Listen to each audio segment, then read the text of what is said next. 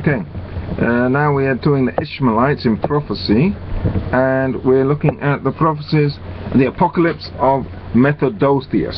Methodosius, okay, and he's looking at he's uh, looking at around the seventh century, and he is looking at the prophecies of uh, Daniel regarding the uh, uh, the Arab uh, taking over of Jerusalem and taking over of the east.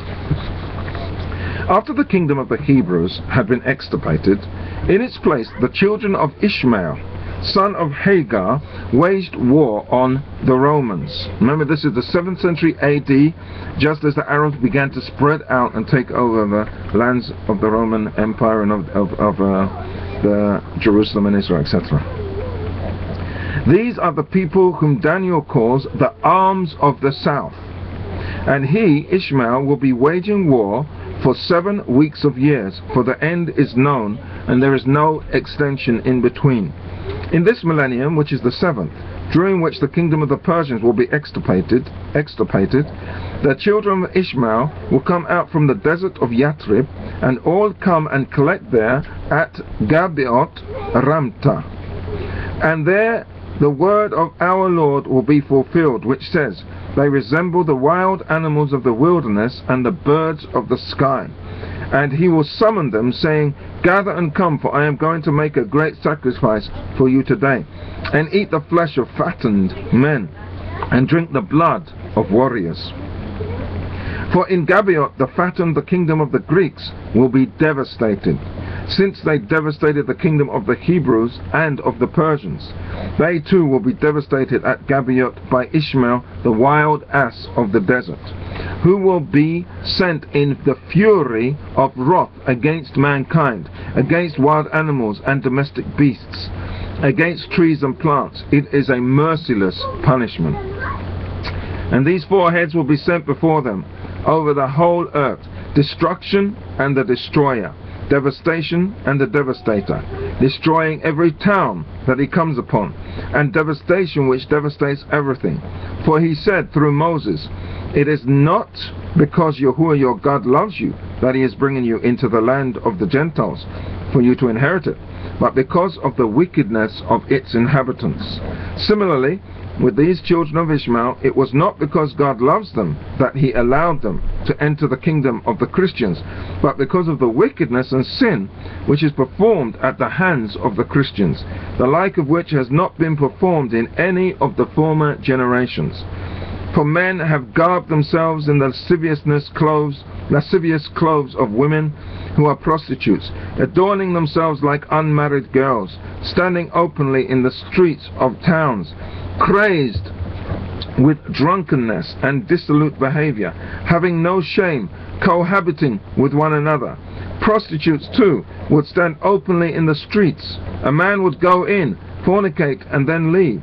Then along would come his son and defile himself with the same women. Brothers and fathers, sons, all together would defile themselves with one and the same woman. For this reason, Paul the Apostle said, Their males have abandoned the nature's use of females, and have been inflamed with lust one for another, one male performing an act of shame with another. And again, in the case of women, as follows They have abandoned nature's use of men, and have made use of something that is unnatural. For this reason, God will hand them over to the foul action of the barbarians, and men who are warriors will be tormented with the punishment of afflictions, while their wives will be defiled by the children of defilement. While I beheld and saw these four heads of punishment, devastation and the devastator, destruction and the destroyer, they cast lots over the land. The land of the Persians was given to devastation for him to devastate it, sending its inhabitants to captivity, slaughter, and devastation. Syria was given to the sword of devastation, its inhabitants to captivity and to slaughter. Sicily was given to destruction and to the sword, and its inhabitants to captivity and to slaughter. Hellas was given to the sword of devastation, and its inhabitants to captivity and to slaughter. The Roman Empire was given to devastation and to the sword, and its inhabitants to, its, to flight, plunder, and captivity. The islands of the Aegean Sea were given to flight, and their inhabitants to captivity and destruction.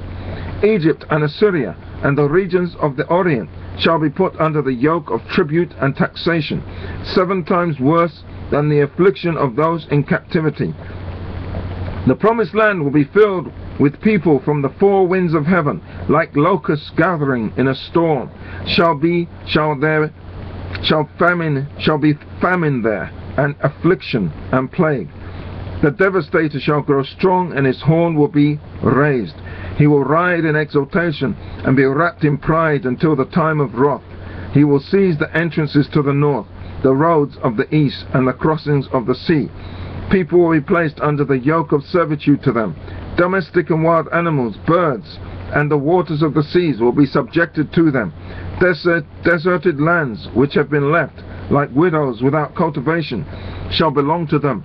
The tyrant will inscribe them as his own.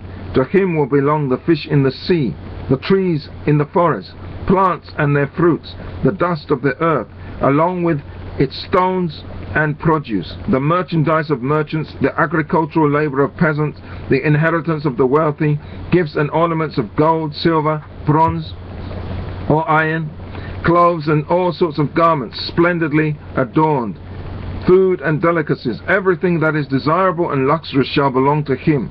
They will be so elated in their wrath and pride that he will even demand tribute from the dead who lie in the dust. He will take a capitation tax from orphans, from widows, and from holy men. They will have no mercy on the poor, nor will they give judgment to the afflicted. They will treat the old roughly and grieve the spirit of the oppressed. They will not spare the sick, or show mercy to the weak. Rather, they will laugh at the wise, mock at lawgivers, and jeer at men of understanding. The veil of silence will be spread over all mankind, and all inhabitants of the earth will live in stupor and in death pangs. Their wisdom is from them and in them. The insignificant will be accounted as important, the despicable as someone of honor. Their words will cut as though with swords, and no one will be able to alter the argument of their words. The path that their journey fills shall be from sea to sea, from the north to the desert of Yathrib. The path will lead to afflictions, and on it will travel aged men and aged women, rich and poor, all hungry and thirsty, and so tormented by harsh fetters that they will call the dead happy. This is the chastisement of which the apostle spoke. The chastisement must come first. Only then that man, that man of sin, the son of destruction, will be revealed. This chastisement is not being sent only upon human beings, but also upon everything that is on the face of the entire earth. On men, women, children, animals, cattle, birds, people will be tormented by that punishment. Men, their wives, sons, daughters, and possessions, the old who are weak, the sick and the strong, the poor, along with the rich. For God called their father, forefather Ishmael, the wild ass of the wilderness and the gazelles along with all animals both of the wilderness and of cultivated land will be oppressed by them. People will be persecuted. Wild animals and cattle will die the forest trees will be cut down. The most beautiful mountain plants will be destroyed and prosperous cities will be laid waste. Regions will lie desolate without anyone passing through. The land will be defiled by blood and deprived of its produce. For these barbarian tyrants are not men but children of desolation. They set their face towards desolation, and they are destroyers. They shall be sent for or to devastation. They are destruction, and they shall issue forth for the destruction of everything. They are defiled, and they love defilement. At the time of their issuing forth, from the wilderness. They will snatch babies from their mother's arms, dashing them against stones, as though they were unclean beasts. They will make a sacrifice of those who minister in the sanctuary, and they will even sleep with their wives and with captive women inside the sanctuary. They will appropriate the sacred vestments as clothing for themselves and their children. They will tether their cattle to the sarcophagi of martyrs and to the graves of holy men. They are insolent murderers, destructive shedders of blood. They are a furnace of testing for all Christians. We continue in a moment.